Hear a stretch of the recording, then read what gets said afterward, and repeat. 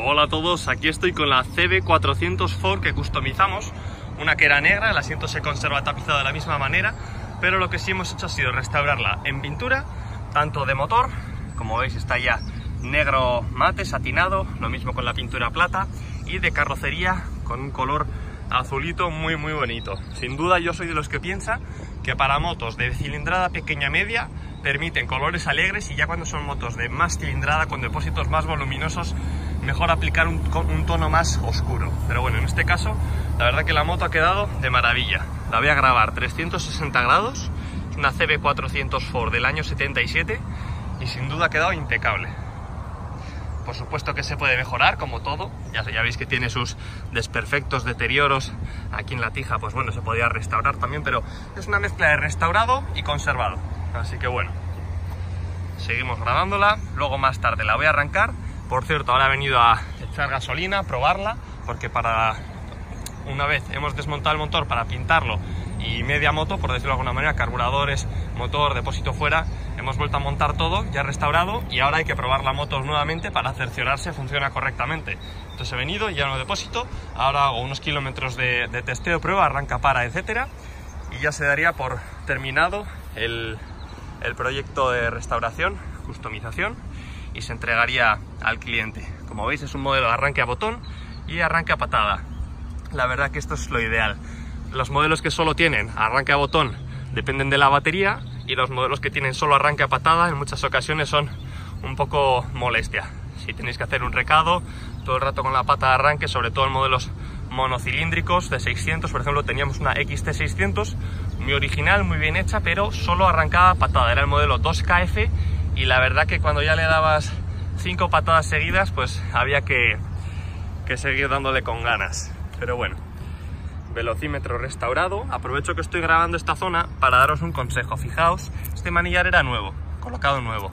Pues debido a las llaves y al roce, fijaos cómo se está quedando en la zona intermedia. Es muy aconsejable llevar las llaves aparte, la que no sea del contacto, para evitar este roce y, y por consiguiente desgaste.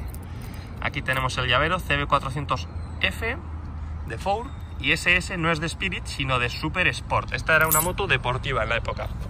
De 4 cilindros, de 400 centímetros cúbicos y 4 cilindros. Los colectores, como veis, se les llama efecto peinado porque van todos hacia un lado y en inglés creo que se llama comb, ¿no? Como peinado, combed.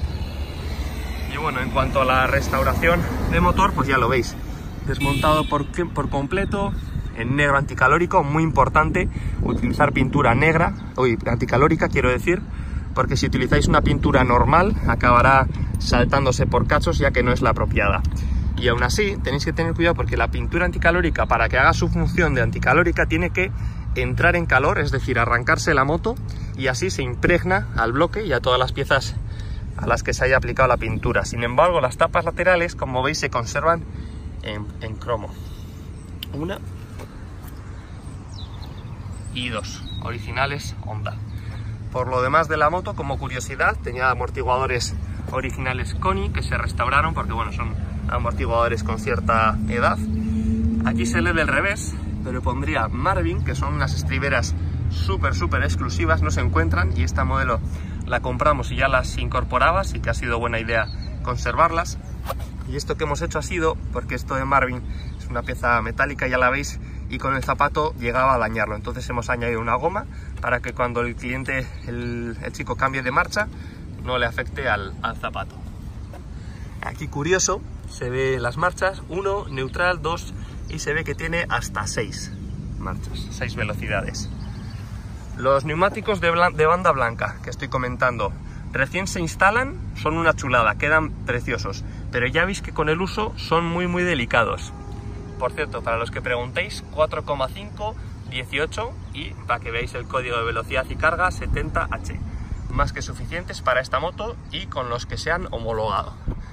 Y pasamos al delantero, que igualmente se ve algo sucio, siempre, siempre se puede repasar, ¿eh? sin problema. Agua caliente, jabón, mismamente acudir al chorro de lavado y mejoraría. Lo que pasa que no quiero ahora lavar la moto porque como os comentaba está recién aplicada la pintura, la restauración de motor, etc. Aquí tenemos los carburadores a la rampa de 4 de la marca Keijin Como veis, esta por ejemplo podría ser una pieza a restaurar, que tampoco sería muy complicada, se podría pintar de cualquier manera, pulir, hacer algún, alguna especie de restauración y quedaría nueva, pero bueno, es un contraste que nos gusta y el cliente también. Los neumáticos, os he dicho la medida, pero son de la marca Shinko. Los fuelles sí que están nuevos, todo recambio homologado. En cuanto a intermitentes, veréis que siempre ponemos los mismos, porque son intermitentes homologados, discretos, sencillos, económicos. La verdad que es un recambio al que no le solemos prestar mucha atención, ya que en una moto customizada, ¿qué piezas son las principales? Un buen depósito con una buena pintura, un tapizado, son las dos piezas principales y por supuesto el estilo que se le quiera dar también tiene mucho protagonismo. El faro que se le instala, los neumáticos según el estilo que queráis darle y por supuesto también hay mejoras como horquillas invertidas y amortiguadores traseros, traseros más deportivos. Es que estoy viendo el depósito y cada vez me está gustando más con los brillos que le da, si os fijáis, ni una mota de polvo. Ni una. Calidad excepcional. Y aquí lo que hemos puesto ha sido el emblema de Honda con, ¿veis estos puntos blanquitos de fondo? Bien, esto es porque hemos pegado con cinta de doble cara no queríamos agujerear el depósito para atornillarlos dentro, sino que con cinta de doble cara queda muy bien fijado, esto apenas pesa y tiene bastante eh, adherencia, pegamento. Y lo que hemos pegado, que queda muy bien debajo del logo Honda, es Handbuild by CRSS, hecho a mano por Café Racer Spirit. Aquí se repite, CB400 Four. También la sabía Four 350, que por cierto, como curiosidad, este sistema de escape valdría para la 350 y viceversa, que la 350 viene con escapes 4 en 4, si no recuerdo mal. Así que si queréis, son intercambiables como curiosidad. Nuevos soportes del faro, hecho por Café Racer Spirit. Las piñas de luces son las originales, pero siempre explico que son de buena calidad, así que nosotros aconsejamos respetarlas. Y los puños que me gustan bastante, los de la marca Bidwell si os fijáis son un poco más, un poco más gordos por el centro, lo que permite agarrar muy cómodamente el puño. Arranca pedal, que ya os lo he mostrado. Aquí se llenaría el aceite, recomiendan 10W40, ahí lo pone. Y a este lado, que el otro lado ponía Marvin, pues bien, este también es rarísimo, este estribo retrasado. Samoto. Si busquéis información de Samoto, que por cierto está otra vez nuevamente al revés, veréis que hay muy muy pocas motos y era recambio de calidad. Aquí veo que hay una gotita que se nos ha caído de aceite, pero bueno, luego la, remato de limpieza y ya la entregamos. Piloto de freno trasero, circular, elegante, clásico. Se llaman bates y como veis también, aprovecho este contraluz, todo el código de homologación ahí estaría. Y el soporte de matrícula, ya veis que estoy desvelando por partes y en detalle toda la customización nuestra, como lo hemos elaborado, un soporte directo al guardabarros en forma de T para sujetar el catadióptrico, la luz de matrícula, que aquí subiría su cable, y aprovechando también aquí en forma de L colocaríamos un pequeño saliente para los intermitentes. Todo legal, todo en su sitio, todo recogido de la mejor manera posible. Y bueno, ¿qué más seguir? Asiento Café Racer Spirit, Aquí veréis que hay un detalle en rojo. Estas tapas laterales no se pintaron, todavía estaba en duda si pintarlas como el depósito, pintarlas en negro, poner un portanúmeros. Entonces, bueno, por ahora la moto se va a entregar así, que la disfrute el chico, su propietario. Y estas tapas, pues bueno, se ve que eran rojas en origen, se pintaron en negro, no de muy buena calidad. Pero bueno, aún por ver cómo, cómo se quisiera rematar. Pues nada, dejo de enrollarme y, la voy a arrancar. Vamos a este lado mejor, grifo de gasolina. En horizontal estaría en off. Fijaos la flechita de aquí arriba, fuel y una flecha, ¿verdad? Arriba pone reserva. Ahí estaríamos en reserva. Y aquí estaríamos en on. Acabo de llenar el depósito hasta arriba, para que se tenga que despreocupar de, la gasolina. Damos a la llave de contacto, esperamos a que haga la carga completa. Vemos que está el verde, es decir, el neutral en on. Esto sería para tirar el aire hacia arriba pero he venido hace un momento, confío arrancarla sin el aire, así que prescindo de él. Lo que hago ahora es las luces en off para que se centre el arranque solo en la batería, solo en arrancar la moto, botón. Y sonido limpio, limpio.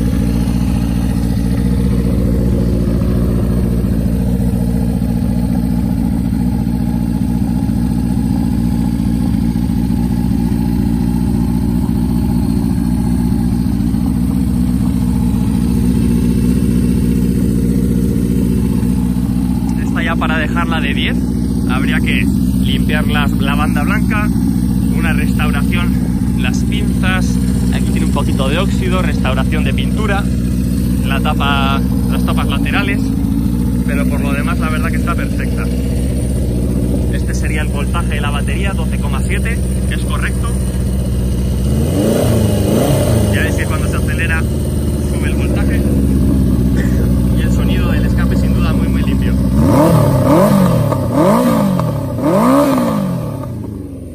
Estas motos suenan más de lo que corren, la verdad, pero tienen un sonido precioso.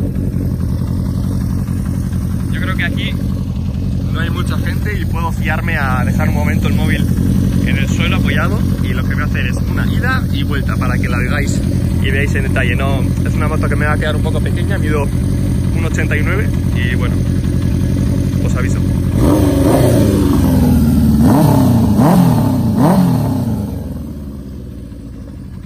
Botón de gasolina, no he con la misma llave.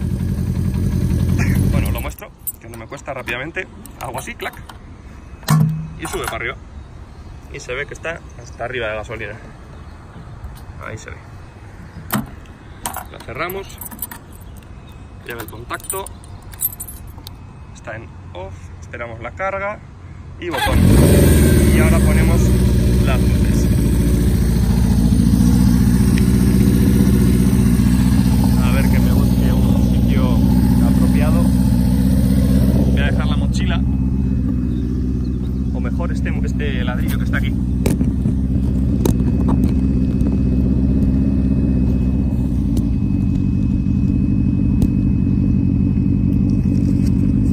Ya se ve bastante bien, ¿no?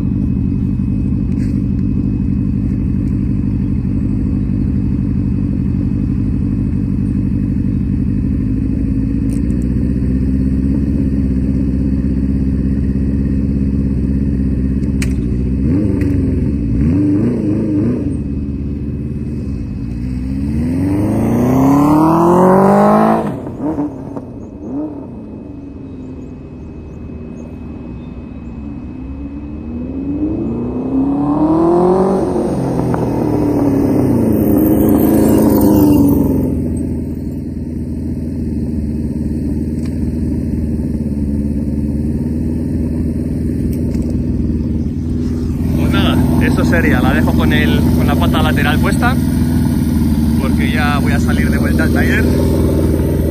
Hago un- una vuelta por aquí, ya Garbera, bajo por aquí, y justo aquí detrás estaría nuestro taller en Café Racer Spirit en el polígono 27 de Martutene.